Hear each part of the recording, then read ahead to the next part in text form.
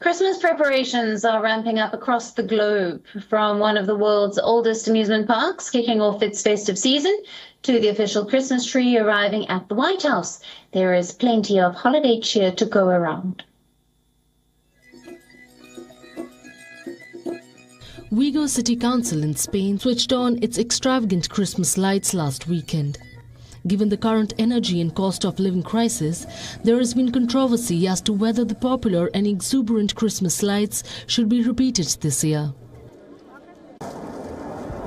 The installation will be made up of 11 million LED lights in more than 400 streets in the city, 30 more than last year, which will remain on for one hour less each day to comply with the Spanish government's energy saving requirements.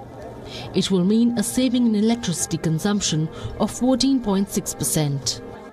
It is estimated that the Christmas lights will produce an economic return of between 500 and 1000 million euros, with an estimated 3 million visitors over the Christmas period, according to the mayor. Vienna's Christmas markets have opened for the festive season.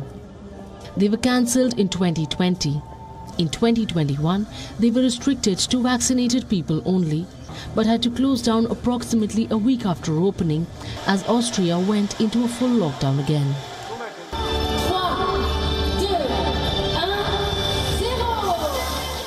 In Paris, French actor Tahar Rahim and Paris Mayor Anne Hidalgo inaugurated the Christmas lights on the Champs-Élysées during a ceremony.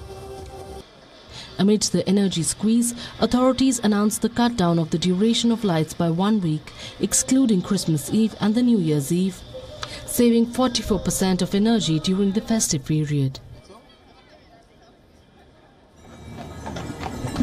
The official White House Christmas tree arrived in Washington, D.C. earlier this week.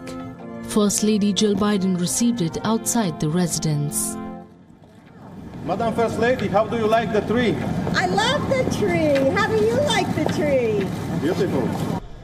Berlin's most popular shopping street switched on its Christmas lights this week.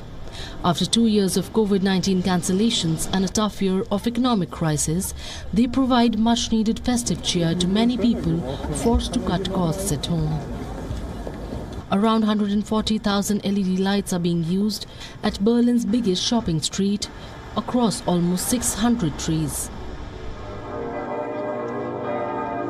Also in Germany, the country's oldest Christmas market opened for the first time in two years, ushering in Advent by turning on its festive lights. Bureau Report, WION, World is One. WION, now available in your country. Download the app now. Get all the news on the move.